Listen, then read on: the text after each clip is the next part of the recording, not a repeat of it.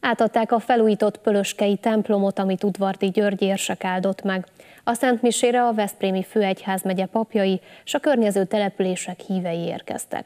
Az ünnepségen részt vett Palkovics László miniszter és Soltész Miklós egyházi nemzetiségi és civil társadalmi kapcsolatokért felelős államtitkár is. Emellett közreműködött az Alegerszegi Városi Fúvós Zenekar és a Bucsú Szent Lászlói templom kórusa. A főpásztor szentbeszédében rámutatott. Különös ajándék, hogy a katolikus egyház éppen ezen a napon emlékezik meg Szűz Máriáról, mint királynőről. Jézussal való kapcsolata példa lehet a mai ember számára. Ez a sorsközösség jelenti sorsközösség vállalást azokkal a testvérekkel, lakókkal, akikkel egy településen vagyunk. És ugye a sorsközösség az nem pusztán egy vállalt vagy választható lehetőség, segítek, ha tudok, hanem hordozzuk egymás terhét.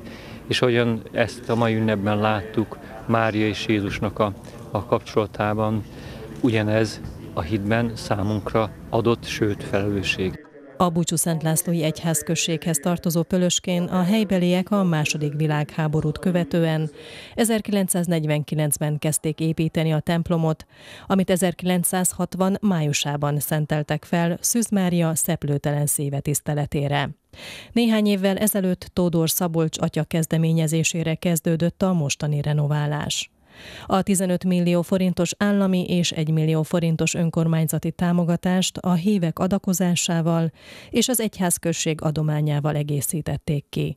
A beruházás teljes összege így 23 millió forint. Teljesen föl kellett újítani nyílászárók cseréje, villanyhálózat teljes felújítása, korszerűsítése, padok rendbetétele, padfűtés, oltárok rendbetétele, teljesen új szőnyeget kapott az egész eh, templom, ugyanakkor a kórust is rendbe kellett tenni, új eh, székekkel, akkor a templom új terítő garnitúrát kapott, tehát mindent, ami teljes belső eh, festés, a szobrok föl lettek újítva. A rendezvényen Soltész Miklós beszédében kiemelte. A pölöskeiek az egyik legnagyobb keresztény üldözés idején álltak neki az építkezésnek. Az Isten tisztelet után a falu polgármestere Tóth Tivadar mondott köszönetet mindazoknak, akik a felújításban segítettek.